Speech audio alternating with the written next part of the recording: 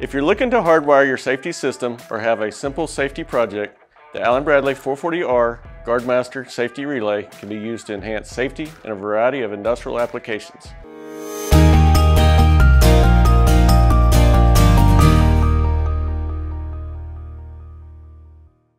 The 440R is designed to monitor and control safety circuits in machines, guarding systems and other equipment where hazardous conditions may arise.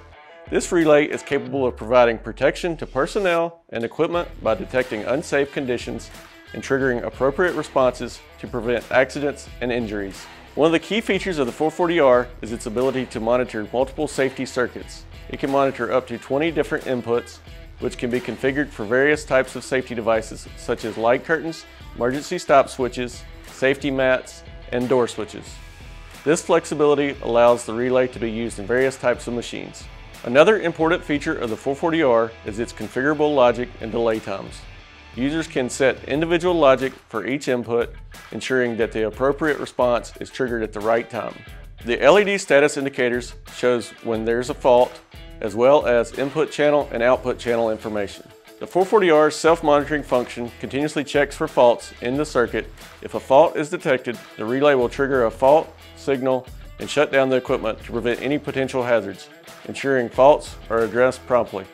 In addition to its safety features, the 440R offers a variety of diagnostic features. When using remote monitoring capabilities of the 440R ENETR, you can gain access to fault logs and advanced diagnostics over Ethernet back to your Rockwell non-safety PLC.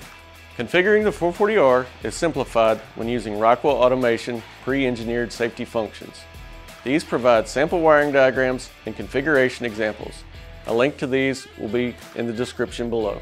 Thanks for watching, and if you have any questions or would like to learn more, please contact your local ES&E account manager or automation specialist.